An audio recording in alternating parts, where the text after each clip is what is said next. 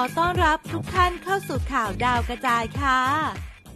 พริตตี้ต้องยอมแพ้ป๊อปนิธิประกาศรักเป้ยปานวาดแค่คนเดียวเท่านั้น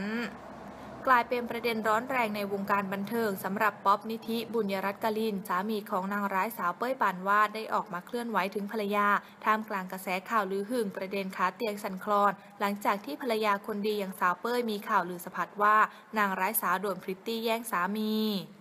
ล่าสุดดราม่าจะจบลงแล้ว โดยหนุ่มป๊อปโพสต์ภาพสาวเป้ยที่กำลังนอนหลับอยู่บนเตียง พร้อมระบุข้อความสุดซึ้งว่า My One and Only หนึ่งเดียวของผมทำเอาถูกใจแฟนคลับกันยกใหญ่เลยล่ะค่ะ